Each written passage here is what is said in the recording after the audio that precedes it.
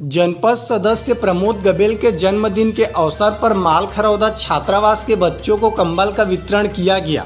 जनपद पंचायत माल खरौदा के जनपद सदस्य प्रमोद गबेल के जन्मदिन के अवसर पर माल खरौदा स्थित शासकीय अनुसूचित जाति छात्रावास के बच्चों को कंबल का वितरण किया गया, जिसके बाद बच्चों में खुशी देखी गई।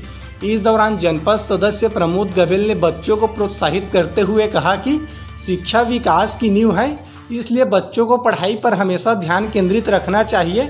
उन्होंने कहा कि शिक्षा के क्षेत्र में बेहतर करके ही आगे बढ़ा जा सकता है। इसलिए बच्चों को लक्ष्य रखकर पढ़ाई करनी चाहिए।